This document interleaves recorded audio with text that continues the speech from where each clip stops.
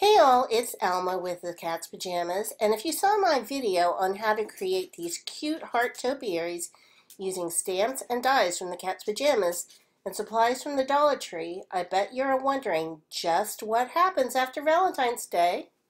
Well, you turn the heart topiaries into lavender topiaries, of course. They're the perfect complement to farmhouse, French provincial, shabby chic, just about any type of decor. They're super easy to make so let's get started. Start by removing the hearts and sticks from the stamp pots from the heart topiaries. You'll also need one of these denuded flower stems, floral tape and floral wire, and these greenery bouquets from the Dollar Tree. Take one bundle and start fluffing out the leaves and flowers. While you're doing this, start forming the foliage into a cup shape. See the shape? Now take a second bouquet and do the same thing.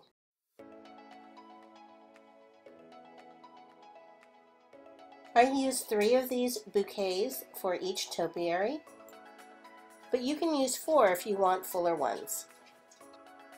Sometimes the bouquet doesn't want to play nice, so just keep forming it and bending it into the shape that you want. For the third bunch, just fluff out the bunch as much as you can. Now place this bouquet into the cup of one of the other bouquets and take the final cup and add that to the bunch. See how that forms a nice round shape? Now I found that the stem height of the bouquets was the perfect height for the flower pots.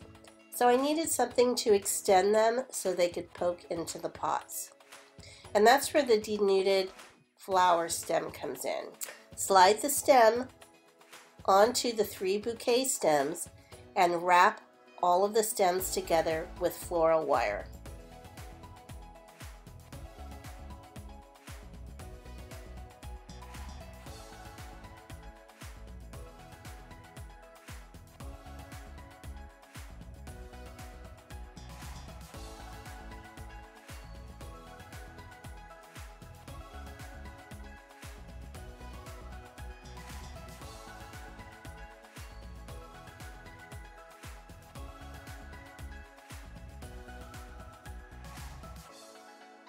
Then take floral tape and wrap around the stems to cover all the stems and the wire. Remember to pull the tape gently when you're wrapping so that it activates the wax that's embedded in the tape and that'll help the tape stay in place. Once you get it going, it's pretty easy just to hold the tape and twirl the bouquet. Goes pretty fast, actually.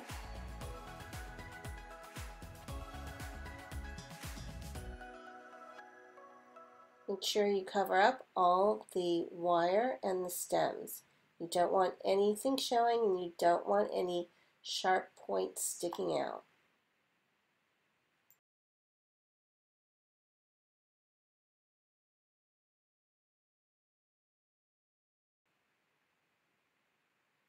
Let's do a test fit.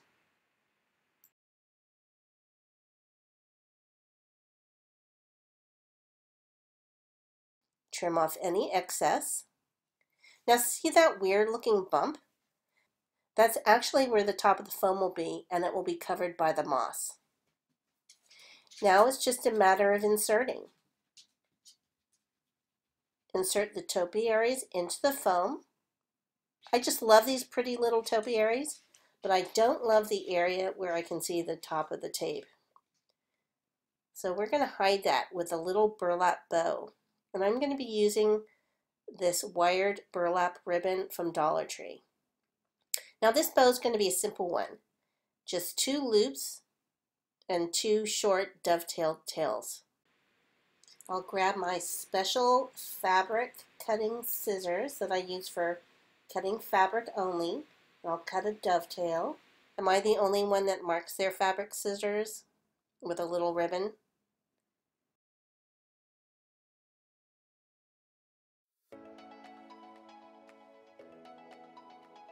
I think this looks pretty good.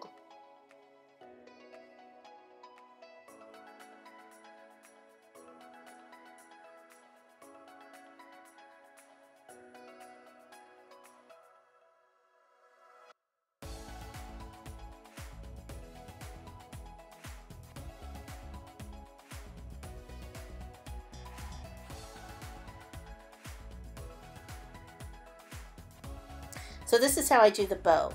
Just a tail to a loop and a second loop to a tail.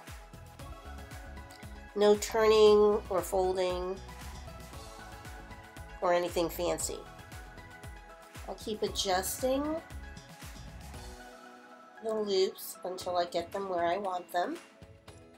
I'll just scrunch the center of the bow together and I'll use a piece of jute to tightly tie off the bow.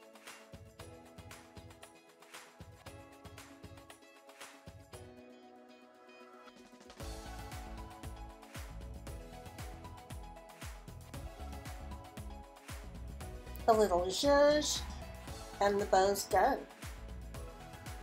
Now let's do the second one.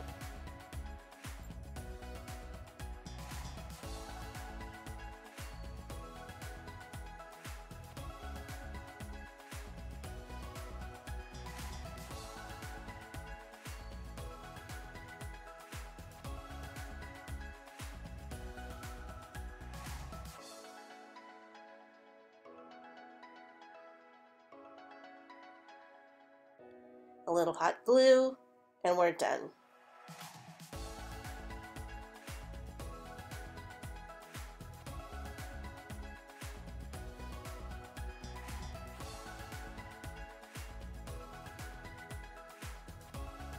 I love these little topiaries almost as much as I love repurposing my existing decor. I can see changing out these topiaries for almost every holiday there is year round. And when Valentine's Day rolls around again, I'll just pull out the hearts on the sticks and change them out. I hope you like this video and give it a try. Have a great day.